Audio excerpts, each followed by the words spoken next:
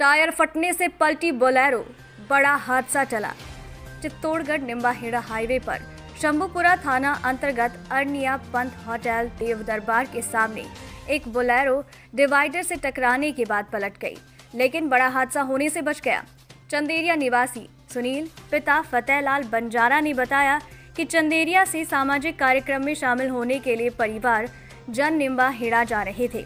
इस दौरान अर्निया पंथ होटल, देव दरबार के सामने अचानक बोलेरो का टायर फट गया और स्टीयरिंग भी फेल हो गई, जिससे सामने डिवाइडर से टकराने के बाद बोलेरो वहीं पलट गई।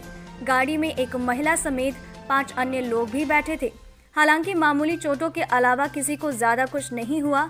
गनीमत रही कि उस समय पीछे से कोई वाहन नहीं आया, नहीं तो बड़ा हादसा हो सकता था। वहीं हादसे के बाद बोलेरो बुरी तरह से क्षतिग्रस्त हो गई।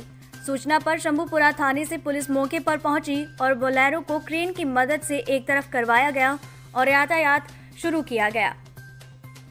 शंभुपुरा थाना क्षेत्र के अरनिया पंथ पुलिया के पास ये क्षेत्र एक्सीडेंट जोन के रूप में जाना जाता है।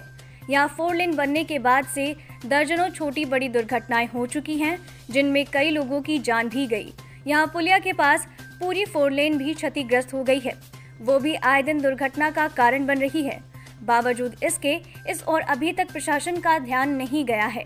विभाग का ना ही ठेका कंपनी का, इस पर ध्यान जा पा रहा है, जिसे यहाँ पर आए दिन बड़े हादसों की आशंका बनी रहती है। नवभारत समाचार, चित्तौड़गढ़, राजस्थान से। दुर्गेश कुमार लक्षकार की रिपोर्ट।